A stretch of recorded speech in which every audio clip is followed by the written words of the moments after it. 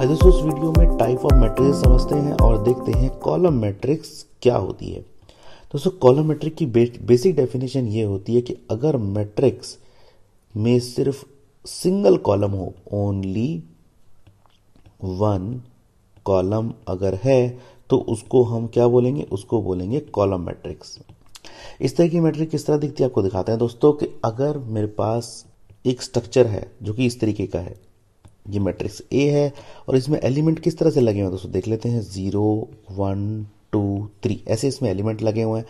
इसका स्ट्रक्चर देखिए दोस्तों क्या है? यहाँ पर सिर्फ़ एक सिंगल कॉलम है। इसको बोल देते हैं ये सी वन एक ही कॉलम है। और नंबर ऑफ़ रोज यहाँ कितने भी हो सकते हैं। यहाँ पर देख लेते हैं ये number of rows R one है आर टू है आर थ्री है आर फोर है। चार नंबर ऑफ़ रोज हैं कॉलम सिर्फ़ सिंगल ही होगा। तो यही दोस्तों डेफिनेशन है कि सिंगल कॉलम और ओनली वन कॉलम उसको हम बोलते हैं दोस्तों कॉलम मैट्रिक्स तो इसकी बेसिक जब अंडरस्टैंडिंग लेते हैं तो उसका ऑर्डर भी देख लेते हैं क्या होता है दोस्तों। अगर हम किसी भी मैट्रिक्स को रिप्रेजेंट करेंगे तो राइट right साइड में इसका ऑर्डर लिखेंगे। चार नंबर ऑफ़ रोज हैं और वन कॉलम है। तो इस तरह लिखते हैं दोस्तों, इसका ये हो गया नंबर ऑफ़ रोज ये हो गया नंबर ऑफ़ कॉलम्स ठीक है? तो कॉलम्स तो यहाँ पर क्या होगा? इसकी वैल्यू फिक्स्ड होगी, ठीक है ना?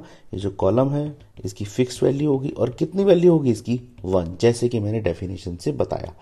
तो अगर ऐसा है तो हम किसी भी जेनरिक टर्म्स को अगर लिखें जेनरिक वैल्यू को लिखें तो किस तरह कहलाएगा कॉलम मैट्रिक्स इसी डेफिनेशन को ले जाते हैं। अगर किसी भी जेनरिक टर्म्स में इसको लिखें तो आप ऑर्डर जो होता है ऑर्डर ऑफ़ कॉलम मैट्रिक्स क्या होता है दोस्तों ऑर्डर ऑफ़ कॉलम मैट्रिक्स कि यहाँ पर आपकी कोई भी वैल्यू आएगी। एनी वैल्यू क्रॉस वन मतलब कि जो रो है रो में आप कोई भी वैल्यू दे सकते हैं बट कॉलम की वैल्यू फिक्स्ड ही होने वाली है, जो कि है वन तो इस तरह से दोस्तों हम कॉलम मैट्रिक्स की डेफिनेशन बना सकते हैं कॉलम मैट्रिक्स की अंडरस्टैंडिंग ले सकते हैं।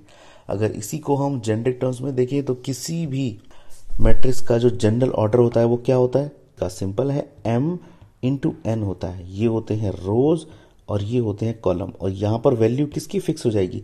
एम की वैल्यू फिक्स हो जाएगी और एन की वैल्यू यहाँ पर वन होने वाली है।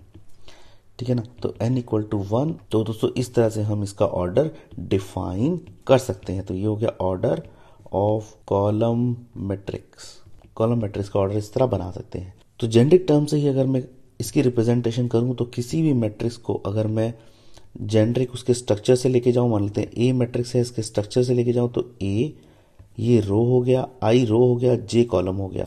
और किस तरह इसके ऑर्डर बनेंगे? M into M into one तो एम क्या है? एम है रो और वन क्या है? वन है कॉलम इस तरह इसकी डेफिनेशन मैं बना सकता हूँ।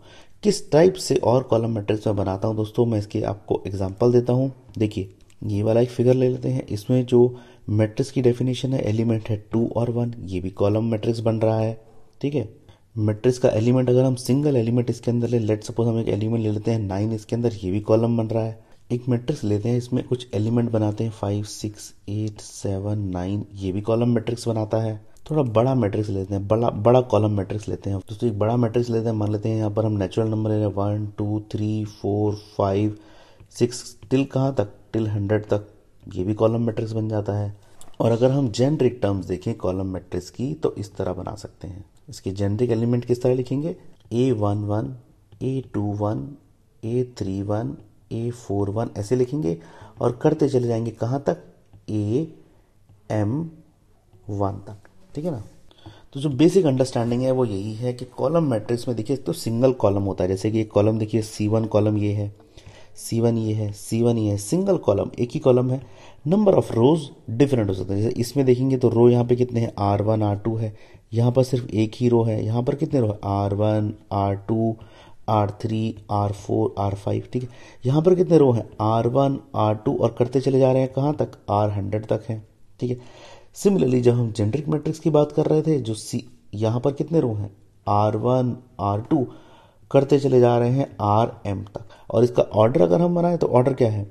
टू इंटू वन इसका ऑर्डर बनाए, इसका ऑर्डर क्या है? वन इंटू वन इसका ऑर्डर बनाए, इसका ऑर्डर क्या है? फाइव इंटू वन इसका ऑर्डर बनाए हंड्रेड इंटू वन इसका ऑर्डर बनाए एम इंटू वन कॉमन चीज़ देखिए क्या है, सभी में कॉलम मैट्रिक्स में जो कॉलम है, वो वन दिया हुआ है, ठीक है? रो कितने भी हो सकते हैं, कॉलम सिर्फ़ वन ही रहेगा। एक बेसिक अंडरस्टैंडिंग है कॉलम मैट्रिक्स को बनाने की। जेनरिक टर्म मैंने आपको यहाँ पे दिखाई क्या होती है, और वेरिएबल के फॉर्म में उसको डिफाइन किया। और ये बताया नंबर ऑफ़ रो कितने होंगे एन और नंबर ऑफ़ कॉलम कितने हैं वन फिक्स्ड वैल्यू है। उसके बाद मैंने डिफरेंट टाइप की कॉलम मैट्रिक्स आपको बना के दिखाई। ये वाली देखिए जो कॉलम मैट्रिक्स है, इस जो मैंने एरो से अभी बनाई है, इस कॉलम मैट्रिक्स में देखिए वन इंटू वन ये स्क्वायर मैट्रिक्स भी कहलाती है बट यहाँ पर क्या है, हमें सिर्फ़ कंसंट्रेट करना है कॉलम पे। अगर कॉलम वन है तो वो कॉलम मैट्रिक्स कहलाएगी। उसके बाद उसके रोज जितने मर्ज़ी हो, मुझे मतलब नहीं है। नंबर ऑफ़ रो इक्वल भी हो कॉलम की, कोई दिक्कत नहीं है। नंबर ऑफ़ रो ज़्यादा भी हो, कोई दिक्कत नहीं है बट कॉलम हमेशा वन ही होना चाहिए। ये डेफिनेशन कॉलम मैट्रिक्स की होती है दोस्तों। तो इस तरीके से हम टाइप ऑफ़ मैट्रिक्स समझ सकते हैं कॉलम मैट्रिक्स की बेसिक डेफिनेशन अंडरस्टैंड कर सकते हैं। आई होप आपको काफ़ी अच्छा लगा होगा। Keep listening keep learning